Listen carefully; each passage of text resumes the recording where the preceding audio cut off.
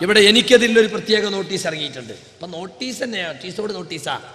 ഖുർആാനെയും അതീത്തിനെയും ദുർവ്യാഖ്യാനിക്കുന്ന K K ജക്കരിയുടെ പുതിയ ഗവേഷണങ്ങൾ എന്ന് പറഞ്ഞിട്ട്. ഒന്ന് എനിക്ക് ഷെയ്ത്താൻ എന്നുള്ളൊരു കരീനുണ്ട്. അവന് എന്റെ ജീവിതത്തിലെ രഹസ്യങ്ങൾ മുഴുവനും അറിയാം. ശുദ്ധ നുണയാണത്. എന്റെ ജീ കൂടെ ജീവിച്ച കരീനിന് എന്റെ ഞാൻ ജനിച്ചതോടൊപ്പം എന്റെ കൂടെ ഉള്ളതാ. എന്റെ കഴിഞ്ഞ കാല കാര്യങ്ങളൊക്കെ അവനറിയാം. എന്റെ വരാൻ പോണ കാര്യങ്ങളോ എന്റെ മനസ്സിലുള്ള കാര്യങ്ങളോ അവനറിയില്ല. ഇത് ഞാൻ പറഞ്ഞതിന്റെ പേരിലാണ് ജീവിതത്തിലെ രഹസ്യങ്ങൾ മുഴുവൻ അറിയാമെന്ന ശുദ്ധ നുണ എന്റെ പേരിൽ എഴുതിയിരിക്കുന്നത്. എന്നിട്ട് ആയത്ത് കൊടുത്തിരിക്കുക പിന്നെ ഒരാൾ ശൈത്താൻ ആരാധിച്ചാൽ അവൻ ഉത്തരം നൽകും. എന്നാൽ പ്രാർത്ഥിച്ചാൽ ഉത്തരം നൽകില്ല കെ കെ ജക്കരിയ എന്നിട്ടോ പ്രാർത്ഥന ആരാധനയാകുന്നു എന്ന് നബിവചനം ഹദീസ് നിഷേധിക്കലാണോ ജക്കരിയയുടെ ഗവേഷണം? നോക്കണം നിങ്ങൾ ഇപ്പൊ ഇവിടെ പറഞ്ഞല്ലോ പറഞ്ഞില്ലേ ശൈത്താൻ ആരാധിച്ചാൽ ശൈത്താൻ ആളുകൾക്ക് അവൻ ഉത്തരം നൽകും. എന്ത് നൽകും?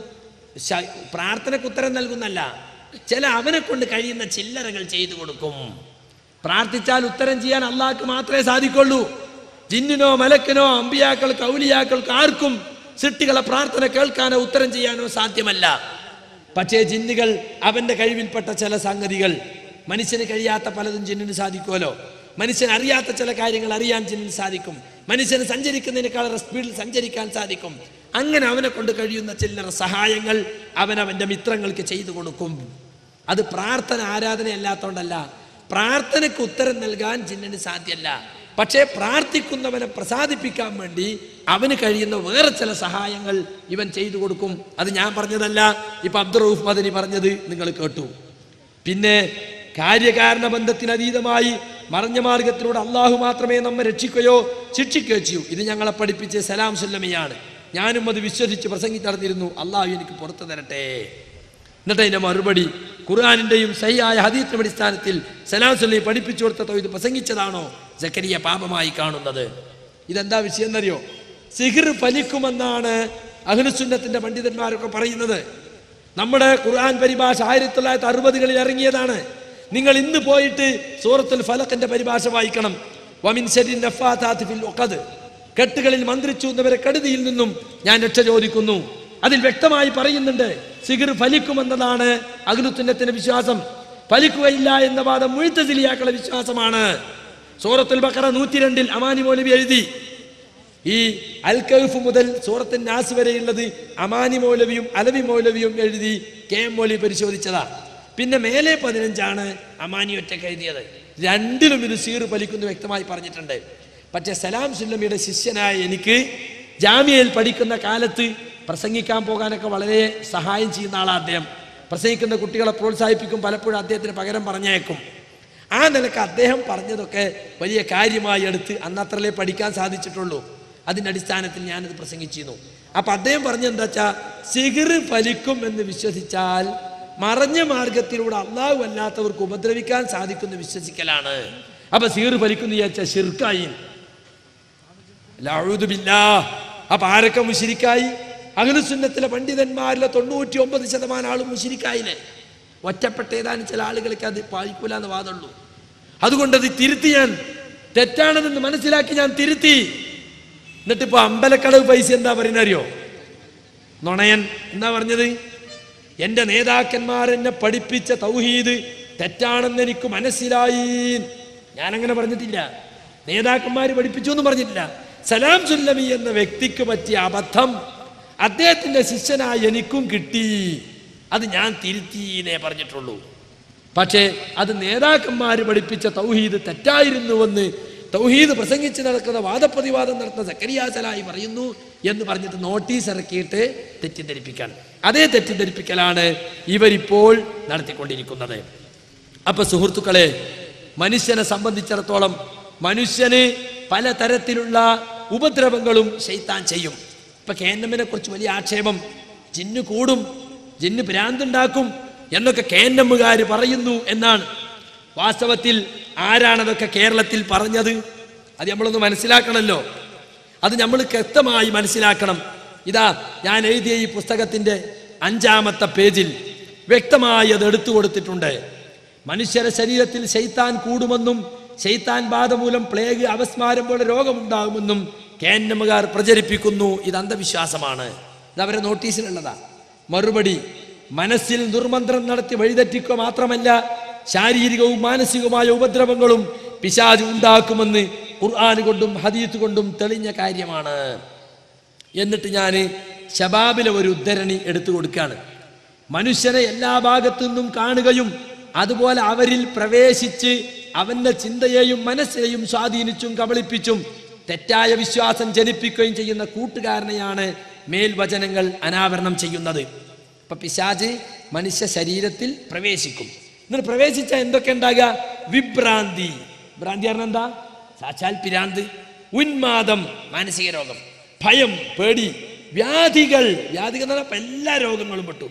തുടങ്ങി നിരവധി ഭവിഷ്യത്തുകൾ പിശാജ് അഥവാ ഇബിലീസ് ഉണ്ടാക്കി തീർക്കുമെന്നും അതിൽ നിന്നുള്ള മോ പൂർണമോചനം അള്ളാഹുവിൽ പൂർണ സമർപ്പണവും വിശ്വാസവുമാണെന്നും ഇസ്ലാം പഠിപ്പിക്കുന്നു. മടവൂരിസം പഠിപ്പിക്കുന്നു എന്നല്ല. മടവൂർ ഹുസൈന്റെ ഗ്രൂപ്പ് പഠിപ്പിക്കുന്നു എന്നല്ല. പിന്നെയോ അബ്ദുസലാം സല്ലമി പഠിപ്പിക്കുന്നു എന്നല്ല. പിന്നെയോ ഇസ്ലാം പഠിപ്പിക്കുന്നു. എന്താ പഠിപ്പിക്കുന്നത്? വിഭ്രാന്തി ഉണ്ടാക്കും പിശാജ്. ഉന്മാദം മാനസിക രോഗം ഉണ്ടാക്കും ഭയം ഉണ്ടാക്കും രോഗങ്ങൾ ഉണ്ടാക്കും. സി എം മൗലവി ഷബാബ് രണ്ടായിരത്തൊന്ന് ഡിസംബർ പതിനാല്. ഇനി ഇങ്ങനെ ശൈത്താൻ പ്രവേശിച്ചാൽ ആ മനുഷ്യൻ എങ്ങനെ പെരുമാറും? അതാണ് തൊട്ടടുത്ത വാചകം. തനിക്ക് വശമില്ലാത്ത ഭാഷകൾ സംസാരിക്കുക ഭൂതകാല കാര്യങ്ങൾ പറയുക പ്രത്യേക ചേഷ്ടകൾ കാണിക്കുക രൗദ്രമായി പെരുമാറുക എന്ന് തുടങ്ങി പല അത്ഭുത പ്രതിഭാസങ്ങളും ഈ കരിയിൻ മൂലമുണ്ടാകാം ആ തനിക്ക് വശമില്ലാത്ത ഭാഷ. ജിന്ന് കൂടിയിട്ട് മലയാളിക്ക് ജിന്ന് കൂടിയ തമിഴ് പറയും. കാരണം കൂടിയ ജിന്ന് തമിഴായിരിക്കും. അല്ലെങ്കിൽ കന്നഡ പറയും. അല്ലെങ്കിൽ ഇംഗ്ലീഷ് പറയും. ആരാ പറയുന്നത്? ശബാബ പറയുന്നത്. ഭൂതകാല കാര്യങ്ങൾ കഴിഞ്ഞ കാര്യങ്ങളൊക്കെ ഇങ്ങനെ വിളിച്ചു പറയും. പ്രത്യേക ചേഷ്ടകൾ കാണിക്കും. ഭ്രാന്തന്മാരില്ല? പല കോലവും കാണിക്കുന്നത് അതൊക്കെ കാണിക്കും. രൗദ്രമായി പെരുമാറുക കാണാനൊക്കെ മാന്തി ഇടിക്കുകയൊക്കെ ചെയ്യും. ഇങ്ങനെ പല അത്ഭുത പ്രതിഭാസങ്ങളും കാണിക്കുന്നു ഇത് ഷബാബിൽ അങ്ങനെ എഴുതിപ്പോയി എന്ന് വിചാരിച്ചിട്ട് അത് എടുത്തു പറയണോ. ഇത് പുസ്തകാക്കി ഇന്നും വിറ്റുകൊണ്ടിരിക്കുന്നു. യുവതയിൽ നിങ്ങൾക്ക് പോയാൽ വാങ്ങാൻ കിട്ടും.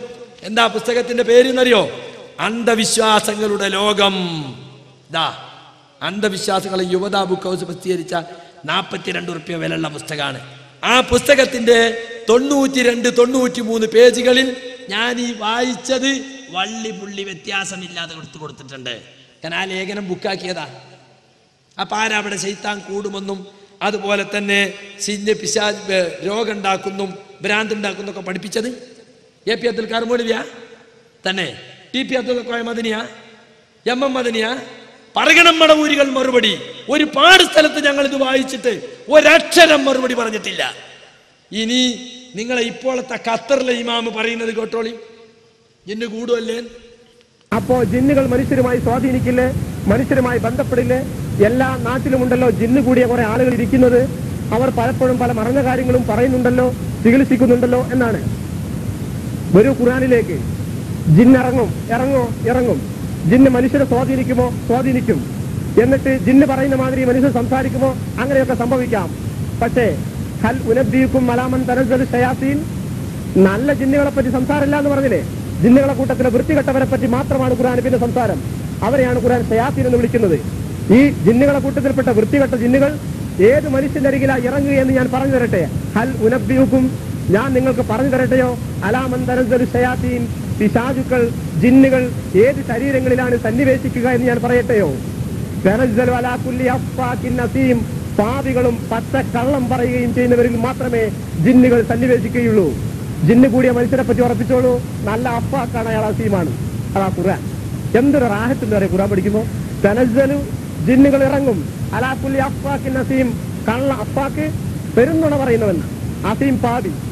അത് നിങ്ങൾ കേട്ടു നോക്കൂ. നാട്ടിലെ നിസ്കാരവും നിലയും നോമ്പുമൊക്കെയായി നല്ല മനുഷ്യന്മാരായി നാട്ടുകാരോട് വയന്ന് പറഞ്ഞു നടക്കുന്ന മതപണ്ഡിതന്മാരുടെ ഏതെങ്കിലും ഒരുത്തന്റെ കടിയിൽ എന്തെങ്കിലും ചിന്നു കൂടിയിട്ടുണ്ടോ? അറിയോ നിങ്ങൾ അങ്ങനെ നല്ല മനുഷ്യന്മാരായി നടക്കുന്ന ഒരുത്തന്റെ നടിയിൽ ചിന്നു കൂടിയിരിക്കുന്ന രംഗം കണ്ടിട്ടുണ്ടോ? ജിന്ന് കയറൂല കൂടൂല. എന്നാൽ ഈ കൂടിയ മനുഷ്യന്മാരുടെ പൂർവകാല ചരിത്രം പരിശോധിച്ച് നോക്കിയാൽ ഖുറാന്റെ ആയത് ശരിയായിരിക്കും. അപ്പാക്കായിരിക്കും ആ മനുഷ്യർ അസീലുകളായിരിക്കും പാപികളായിരിക്കും കുരുത്തം കെട്ടവരായിരിക്കും അവരുടെ ശരീരത്തിൽ ഉണ്ടാവും സത്യമാണ് നിഷേധിക്കേണ്ട ഇങ്ങനെ ചില മനുഷ്യന്മാർ ഉണ്ടാവും. നിങ്ങൾ അവരുടെ അടുത്ത് ചെല്ലുമ്പോൾ അവർ അന്നേരം ചിലപ്പോൾ ഒന്നും മിണ്ടില്ല എന്ന് പറയും. നാളെ വാന്ന് പറഞ്ഞു വരും. എട്ട് മണിക്ക് വാന്ന് പറഞ്ഞു വരും. മറഞ്ഞ കാര്യം പറഞ്ഞിരിക്കാം. പോയി പോയ കാര്യത്തെപ്പറ്റി വിവരം കിട്ടിയെന്ന് വരാം. പലതും സംസാരിച്ചെന്ന് വരും. അറിയില്ലാത്തത്. ഔലി എന്ന് വിചാരിക്കേണ്ട. ഖുറാന്റെ വിധിന്താരോ അഫാഖ് നസീം ചികിത്സിക്കണം ആ മനുഷ്യനെ. കള്ളനാണ് പാപിയാണ്. അതുകൊണ്ടാണ് ആ തടിയിൽ ജിന്നിന്റെ സ്വാധീനം ഉണ്ടായത്. കണ്ടോ? വളരെ വ്യക്തമായി അദ്ദേഹം പറയാണ് ജിന്നുകൾ ഇറങ്ങി വരും. ഇടക്കിടക്ക് വന്നുകൊണ്ടിരിക്കും ചില ആളുകളെടുത്ത് സ്വാധീനിക്കും മറിഞ്ഞ കാര്യം പറഞ്ഞു തരും. പക്ഷേ ആ ജിന്ന് പറയുന്നത് പോലെ മനുഷ്യൻ സംസാരിക്കും. ഇതാണ് ജിന്ന് കൂടുക എന്ന് പറയുന്നത്. പക്ഷെ അവൻ ആരാണ്? നിസ്കാരം നോമ്പും നിലവാരവും എന്നുള്ള ആളായിരിക്കൂല. ഖുർആൻ പറയുന്നു. ആരുടെ മേലാണ് പിശാചുക്കൾ ഇറങ്ങി വരിക? നസീം ഏറ്റവും വലിയ നുണയനും വലിയ പാപിയുമാളടുത്താണ് കുറ്റവാളിയായവന്റെ അടുത്താണ് ഇറങ്ങി വരിക. കണ്ടോ? ഇത് ഞങ്ങൾ പറഞ്ഞതാ. അപ്പൊ ജിന്ന് കൂടുമെന്നും ജിന്ന് ഇറങ്ങി വരുന്നും ജിന്ന് സഹായിക്കുമെന്നും ഒക്കെ നിങ്ങൾ തന്നെ പറഞ്ഞിട്ടുണ്ട്. നിങ്ങളെ വലിയ